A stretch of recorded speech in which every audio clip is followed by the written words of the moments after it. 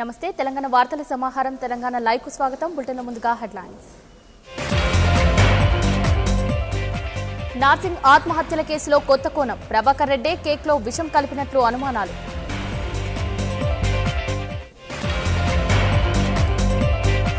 ఇరవై ఏడు నుంచి తెలంగాణ అసెంబ్లీ సమావేశాలు. ఇరవై రోజుల పాటు నిర్వహించేందుకు కసరత్తు.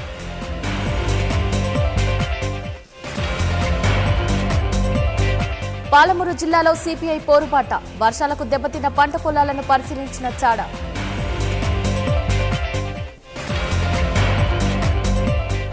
కాంగ్రెస్లోకి రేవంత్ రెడ్డి. పార్టీ మార్పుపై జోరుగా ప్రచారం ఖండించిన టీ టీడీపీ వర్కింగ్ ప్రెసిడెంట్.